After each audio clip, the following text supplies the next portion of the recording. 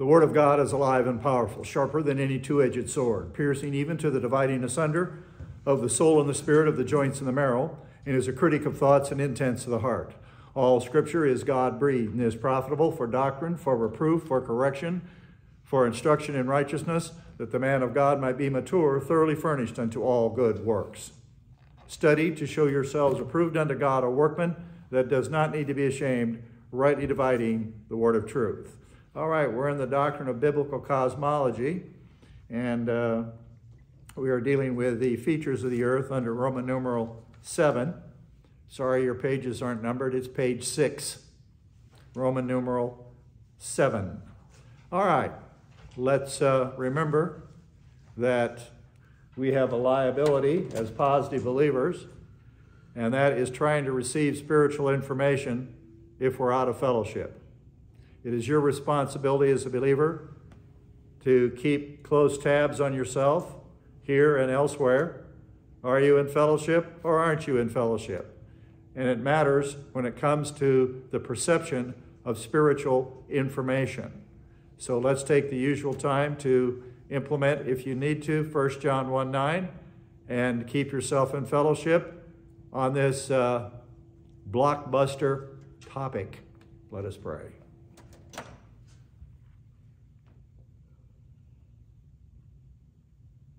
Heavenly Father, once again, we assemble ourselves together so that we can continue in our quest for the crown and for those things that you promised to those of us as believers who take your plan seriously.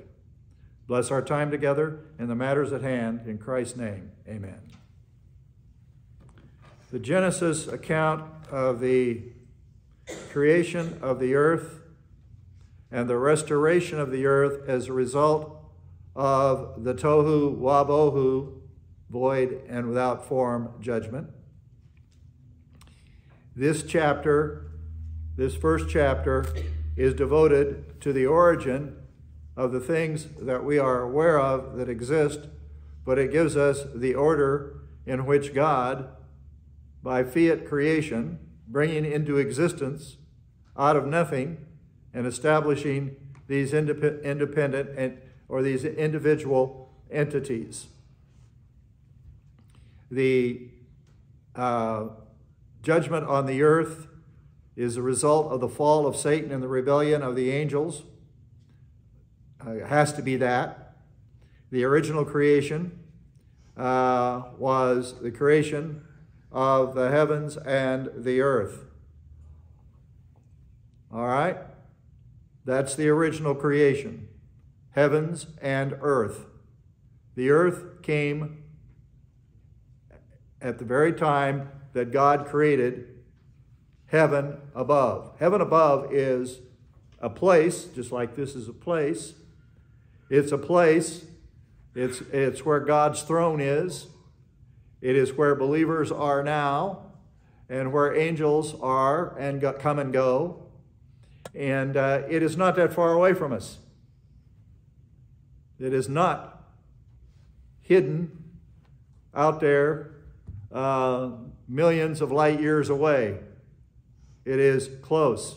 It's comforting to me, at least, to realize that, our, that the Lord, Jesus Christ, in his glorified body, who now sits at the right hand of the Father, the side of preeminence, since his final ascension, he is seated at the right hand of the Father figure on the, on the throne of heaven. Now, but backing up, we have the creation of the earth and the heavens, our earth in its pre fall, if you will, condition, perfect and beautiful. And then something happened that put it in utter darkness no light. It was locked down in darkness, and everything was cold, and the original continent was submerged beneath water, and the water over it was frozen. Not a, not a, not a place you'd want to go to. No life forms, nothing. Just darkness and extreme sub zero cold.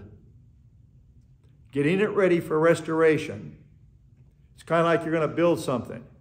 You get the, let's say it's a building or some project. First, you get the ground right. If you're going to build a building, you get it all real nice and level. You can't have rocks and unevenness. You got to get it flat. Okay? And then you can begin the process of working with the foundation upwards.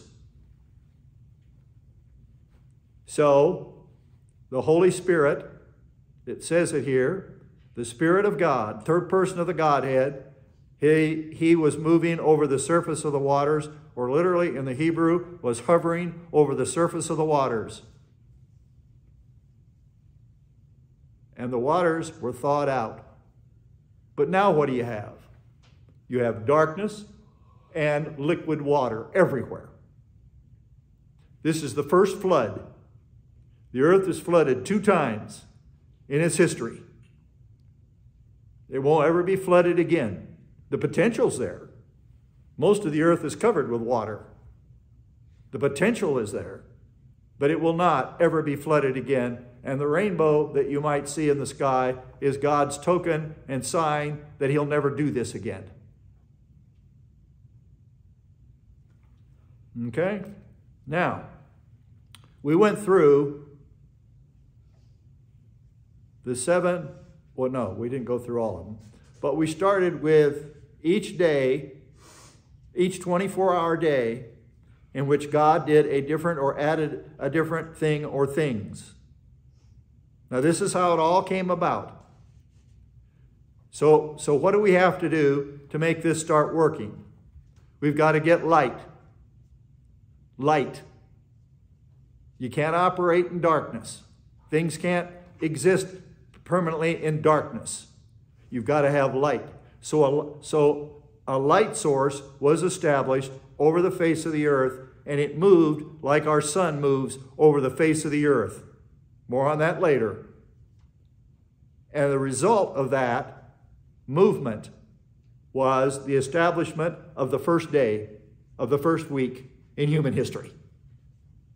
No life forms exist yet, just this light and this light would continue through, well, we name, we have, our, we have names for our days of the week, of course.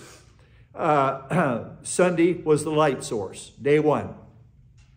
Day two, God put a dome, like in uh, a stadium, a dome over the top of the earth. It is mistranslated expanse in your version, in my opinion. It should be translated, and they should have kept firmament.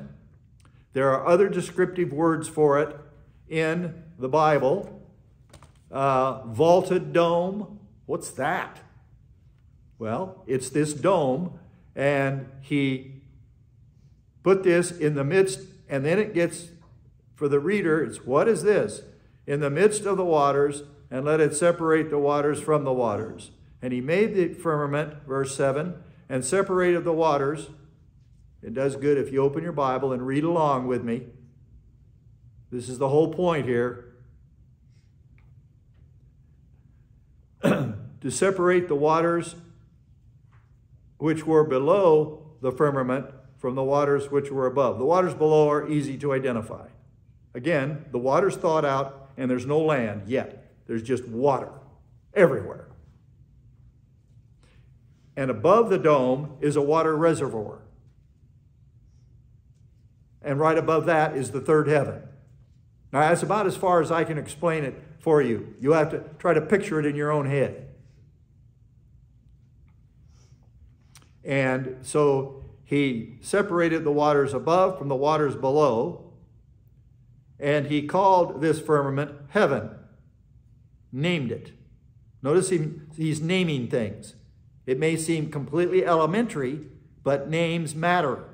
Identification. We use them all the time. We don't necessarily think about it, but we uh, uh, have names.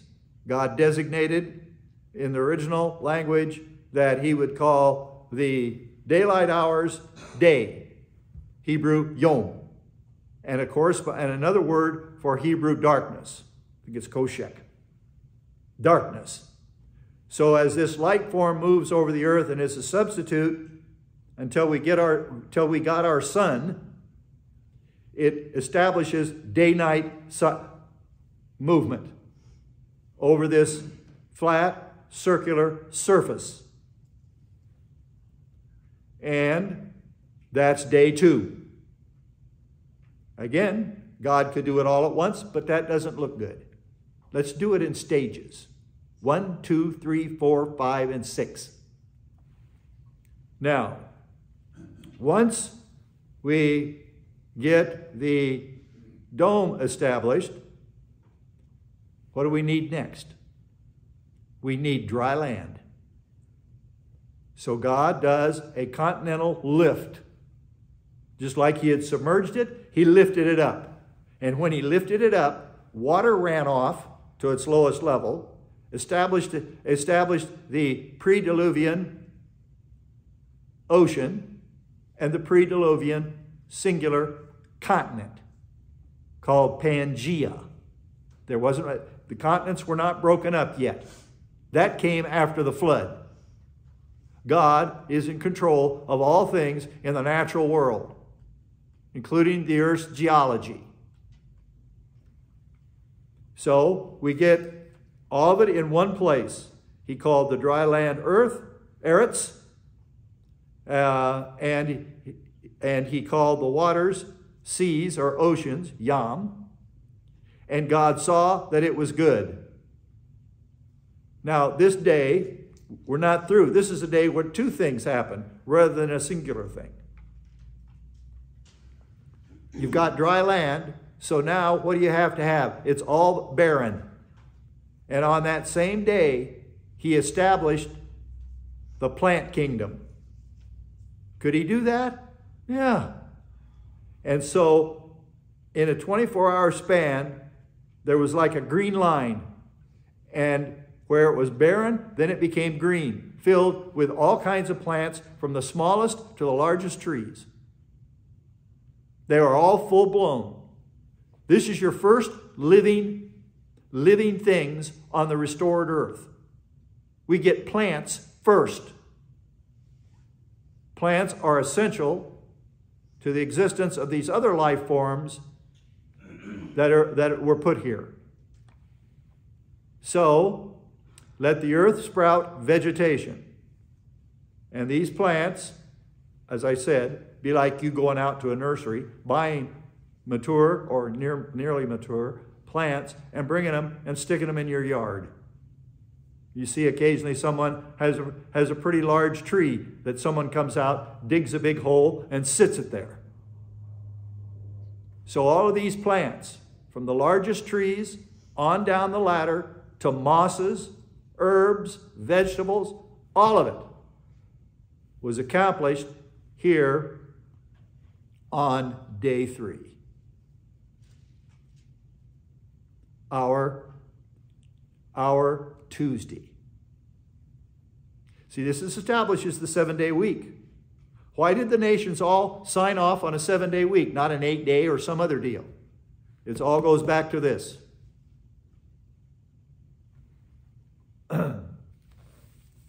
now, we, we left in our study on this page here, this, this, this will get people laughing at you if you were to tell them this, if you believed it.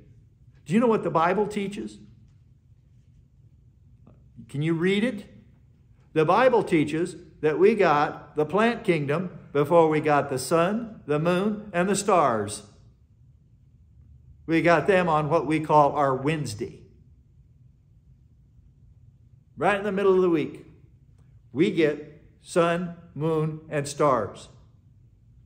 And the important thing to note there is that, as in we had in our point, these luminaries, lights, if you will, now we don't need that light that we got for day one and carried over to this point for, uh, for Sunday, Monday, and Tuesday. We now get a full-blown sun, a full-blown moon, and all the stars. He brings them into existence. God alone can create and bring into existence that which does not exist, or he wouldn't be God.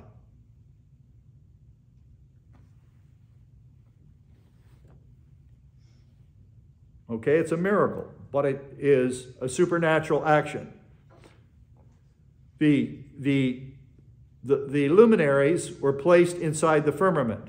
Let there be lights in the firmament of heaven, restated in verse 15. And the big point, again, to belabor the point, but I want you to understand it. As a believer in Jesus Christ, your Bible, my Bible, teaches that we got vegetation all over the earth before we got sun, moon, and stars. This is as simple as it can be. Anybody could read. You may not appreciate all the details until you have someone explain it to you, but the Bible teaches this.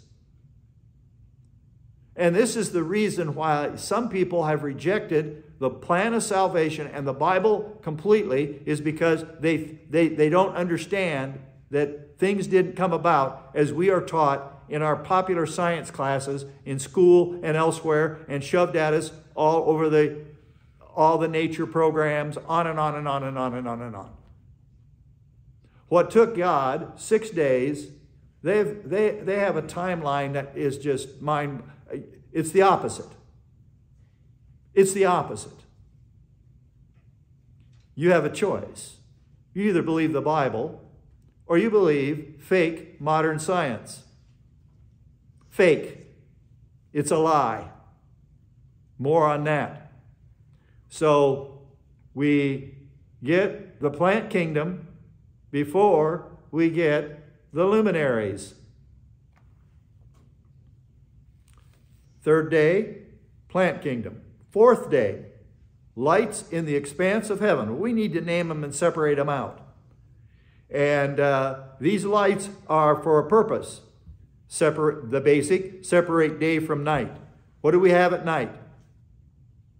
Atmospheric conditions permitting, but they're still there. Atmospheric conditions permitting. We have the light of the moon and we have the light of the stars. And by the way, they can be very bright in certain conditions where you're not competing with ground lights. Like up in the mountains. It's quite spectacular. And when there's a full moon, that thing is bright. More on that. Two great lights. Light one, the sun. The lesser light that governs the night, the moon. We, will, we see in here that the moon has its, is it, has its the, the real moon has its own light source her light. She's referred to in the feminine analogy. Her light. She isn't reflecting the light of the, of the sun like we're taught in science classes. She's got her own light. So they have this thing completely turned on its head before the modern world. The truth's going to win out.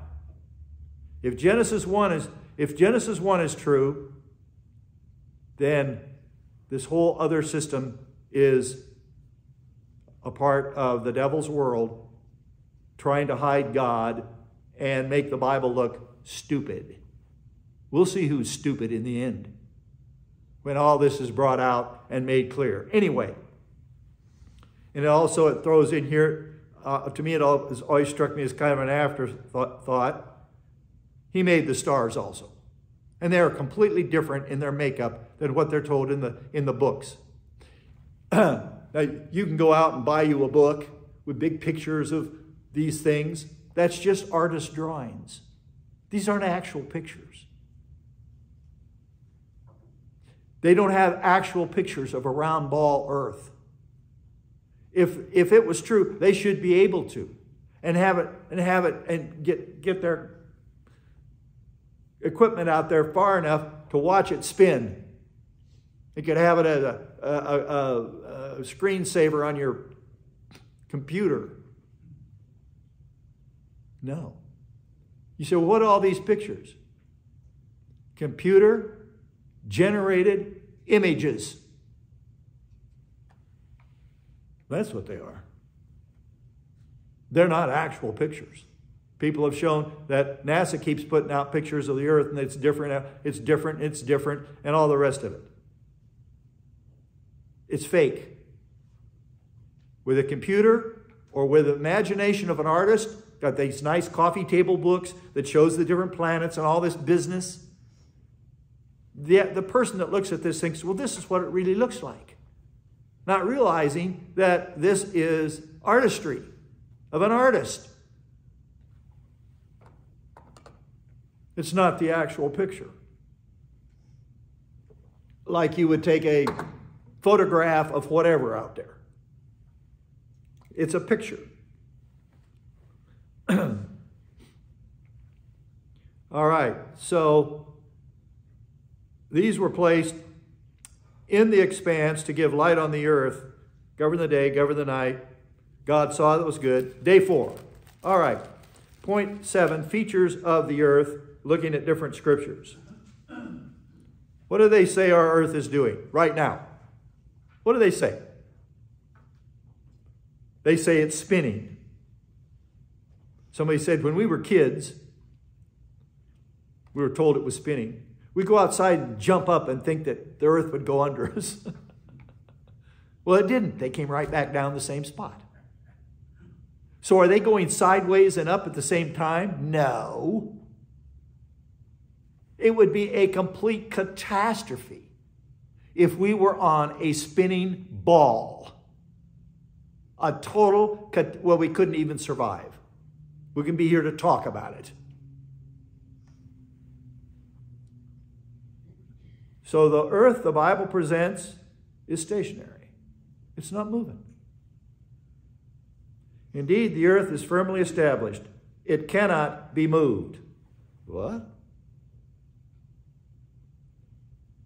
I read things all the time. They say the earth is wobbly, spinning at 1,040 at the equator. I had this in school when I was in high school. And it's running around the sun at 66,600 miles an hour. I read that somewhere. There's your three sixes. Uh, is that coincidental? I don't know. These tricksters. It has a dome over it, 0.5 above. It has foundations. You never refer to the foundations of a ball. You have a basketball, it does not have foundations. It has curvature everywhere. It has no flat surfaces on it. None. It has foundations. He established the earth on its foundations so that it can, there's your another verse, will not be moved forever and ever other verses cited, which cannot be measured. Furthermore, well, they tell me what the measurement of our earth is, but it's all made up. Thus says the Lord, if the heavens above can be measured and the foundations of the earth searched out below, then I will cast off all the offspring of Israel for all they've done. Micah 6 2. It has pillars. Balls don't have pillars globes. 1 Samuel 2 8, he raised the poor from the dust. He lifts the needy from the of the earth. He, he lifts the needy from the ash heap to make to, to make sit make them excuse me sit with nobles and inherit a, a seat of honor. For the pillars of the earth are the Lord's, and He has set the world on them. The earth is suspended. It is suspended. I'm holding this up, but if I could hold it in one place, it would be suspended, just sitting there. Under normal conditions, it would fall, but it is held up by the power of God 24 7 all the time. It doesn't move, it sits right underneath the third heaven, like a footstool sits right underneath a chair. Of course, you can move a footstool, but the earth cannot be moved. It has pillars. There are pictures and diagrams of, of this uh, online to illustrate it. For all the pillars of the earth are the Lord's, and he set the world on them. Job 9 6, who shakes the earth out of its place, and its pillars tremble. Psalm 75 3, the earth and all who dwell in it will melt. It is I who have set, firmly set its pillars. It is suspended on nothing, just beneath the throne room of heaven. Job 26, 7. He stretches out the earth, excuse me, he stretches out the north over empty space and hangs the earth on nothing. F. Its surface is circular and flat with an inscribed ice wall called Antarctica. Clouds are a hiding place for him, so he cannot see. He walks on the vault of the heaven. Vault, different word. He has inscribed a circle on the face of the waters at the boundary of light and darkness. Proverbs 8:27. When he established the heavens, I was there. When he inscribed a circle on the face of the deep. That is not the equator. There is no inscription at the equator. There is a, there is a midpoint between the no, what we call the north and all the way down. There is a midpoint, yes. But it isn't, there's no inscription. This keeps the water in place so it doesn't go off the earth. that what people used to make fun of that. Oh, all the water just run off. You had a ship, you just go right over the edge. Problem is, there's a wall to keep it there. So all the ice wasn't wiped out. He who sits above the circle of the earth and all its inhabitants are like grasshoppers who stretches out the heavens like a curtain and spreads them out like a tent, dome to dwell in. All right? G. The earth is never described as a spinning ball in the Bible and traveling and moving in space. In fact, the only mention of a ball in Scripture, again, like a baseball, a basketball, is found in Isaiah 22 18 and has nothing to do with the earth. And I will row you tightly like a ball, D U R. The earth has four corners, Isaiah 11 12. And I will gather the dispersed of Judah from the four corners of the earth. That is not just poetic language. And we have the four directions and all the rest of it. The four corners of the earth. Imagine a table that's square and in the middle of it, this coffee table, is a glass insert. That's the best I can do right now. Might be able to do better later. And I saw the four angels standing at the four corners of the earth, holding back the winds of the earth. This is in the book of Revelation, in the tribulation, when there's a lull in the action.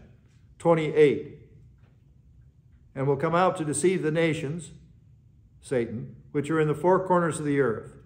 Spheres do not have corners, foundations, and pillars. Gog and Magog. Revelation 20, verse 9, indicates that the earth is flat. This is the Gog and Magog attack. Now, I think that they, as a result of the second advent, that the Lord's going to change dramatically. I know He is. The topography of the earth as we know it. To what degree and extent I still have to think about this. But all the mountains are going down. That means every island is going to be no longer in existence because islands are simply the tops of mountains that go deep down into the sea. So we may go back to a completely different configuration. Remember that when the people come out of the trib, uh, they'll be judged, and so many people will be eliminated, and it, it's all start over. Let's start the nations up again. The different races, the different people will go out and pioneer a new civilization. And so at the end of that civilization, thousand years later, 10 centuries, what we have, this indicates this. Revelation 29 indicates that the earth is flat. And they came upon the broad plain, Platos, we have plateau of the earth. The term plateaus is used in connection with the flat linear dimensions of the New Jerusalem in Revelation 21 6. Can you imagine putting the New Jerusalem on a ball on curvature? You it's ridiculous. Man does not know its dimensions. Have you understood the breadth, the, the breadth of the earth? Tell me, Job, if you know. Jeremiah 31 37. Thus says the Lord, I gave that one already, gave it again. If the heavens can be me measured and the foundations of the earth searched out below, then I will cast off all the spring of it, all the offspring of Israel for all they've done. In summation, the earth is flat. Guess what terms we use? We use sea level. Level. This is level. It isn't built in a curve, it's level. If you had a ball, you can't say anything on that ball is level. How, no matter how small or how big that ball is. A ball, supposedly as big as the earth, there's no place level. Sea level. Because you're constantly moving on a curve. That's not where we live. We live on a flat earth with hills and mountains and valleys and, and that sort of thing. But overall, it's flat. And we measure all elevation. How high is, name a mountain. How high is that mountain?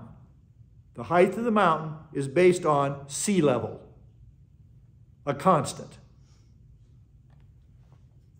We, we do not live on a ball with water in curvature. It's ridiculous. Why didn't I ever think of that? Never mind. It is so stupid. It just goes to show what the devil can sell people on. We, we, we can laugh at the ancients for all the stuff they, they believed, followed. And it all goes back to the same thing. Why can't they figure this out if it's so easy? It's because they do not want God in their thinking and they do not want to face the Bible. I've seen it all my life. They don't want to face the Bible. Okay? Run down that path. See what it gets you.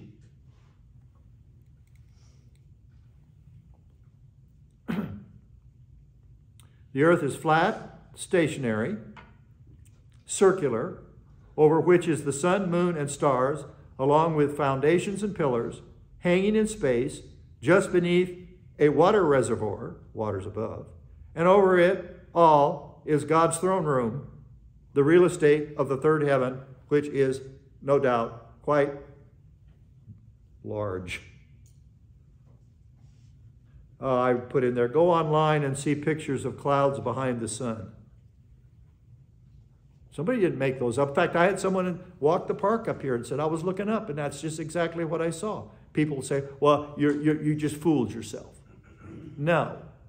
The sun and the moon are not that far away not any 93 million miles for the sun, and 240,000 plus for the moon. They've had to change this figure through the years when they first came up with this stupid model. But anyway,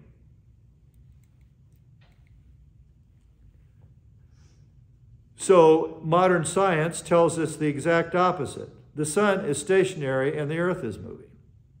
That doesn't support anything that I have seen. So that brings us to point eight. The sun is in constant motion over the earth. Can you read plain English? Ecclesiastes 1 4 through 7 makes it abundantly clear that just as water and rivers return to their place, so the sun returns to its place on its circuit over the earth. I'm reading from this passage. Okay, we're talking about movement. Now, there's different types of movement. A generation goes and a generation comes. That's a motion, a process, one following the other. But the earth remains forever. Also, the sun rises and the sun sets. Now, everybody will tell you that's figurative language. It's just the earth spinning and it looks like it's setting and rising. No, it rises and it's set from the viewpoint of a person on the ground. And hastening to its place, it rises again. Hastening to its place, it rises again. This further emphasizes that it's on a circuit set up by God. Uh, blowing towards the south, then turning towards the north, the wind continues swirling around and on its circular courses the wind returns. All the rivers flow to the sea. yet the sea is not full. To the place where the rivers flow, there they flow again. That's explained by evaporation. In part, at least. Also, Psalm 19:6. Its rising is from one end of the heavens, and its circuit. A circuit. If you don't know what the word circuit is, look it up. Well, there's electrical circuits. There's uh, where people where people go on a circuit. And back in our history, uh, people, uh, the Pony Express, the, each of these riders had a circuit, had certain stops he made. And he came back to the same spot and then took off with his delivery. Circuit riders. Not circus, circuit. It means a predetermined path and its circuit to the other end of them, and there is nothing hidden from its heat. Now, one that this is where I got cornered. I don't mean it in a bad way, I'm not criticizing anybody. But I had to face the music. Joshua commanded the sun and the moon to stand still. This is the famous long day of Joshua. You can read it, you can read it in that chapter in 10. The Jews were fighting an enemy. They, they, they were winning the day, but they needed more day light, or ideally, so that the enemy could not regroup and they'd have to fight him again and lose more people and all the rest of it. So it's the long day of Joshua. Then Joshua spoke to the Lord in the day the Lord delivered up the Amorites before the children of Israel. And he said in the sight of Israel, so you have witnesses, O sun, stand still at Gibeon, and moon in the valley of Ajalon. So the sun stood still. That's a, that's a miracle. God stopped it. And the moon stopped. That's a miracle. Until the nation avenged themselves upon their enemies. Is it not written in the book of Jasher, a Jewish writing? So the sun stood still in the midst of heaven and did not hasten to go down for about a whole day. That's the long day of Joshua. I bet everybody on earth was wondering, what the is going on? Is it the end of the world? What, what's just happening? So that sun moving around up there is set on a circuit, and God, God controls its movement. I think uh, in the tribulation, the day is going to be shortened. Not dramatically.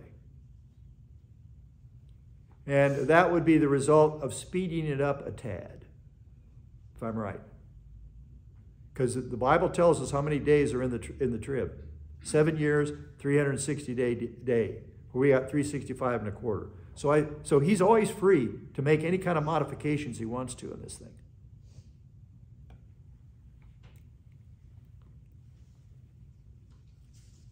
So the sun stood still and the moon stopped until that occurred. So, okay, I'm moving on. This type of miracle, and it's more complicated in this instance, occurred in the day of Hezekiah, but with this twist. The sun stopped and went backward on Ahaz's sundial 10 degrees. If you go online, you can see ancient sundials. Okay? They kept time with them, like we do with a watch or something. They had sundials. It's all kinds of them. You can even buy one today and put in your put out there and watch it. A sundial. And there's some very interesting ones that I saw online. so you could tell basically what time of day it was based on the shadow thrown on the sundial if it was placed right and all the other factors are involved. You can read, you can read all that in 2 Kings 21 through 11. Now that one, that one, I asked someone about that. They said, I don't have a clue what that is. But they were basing this on what is taught us about the sun, moon, and the rest of it. So I don't even know what the hell that is. That's because you got everything backwards. So uh, the life of Hezekiah is interesting. He's one of the kings that turned out okay. He had his problems, serious ones, as, as a matter of fact, and recovered spiritually. But uh, in verses one, uh, it, it, tells you here in Isaiah chapter, excuse me, 20, get the wrong deal here.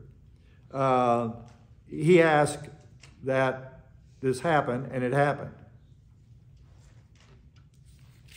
And uh, speaking to his court prophet Isaiah, what will be the sign that the Lord will heal me and that I shall go up to the house of the Lord the third day? Isaiah said, verse 9, This shall be the sign to you from the Lord, that the Lord will do the thing that he has spoken.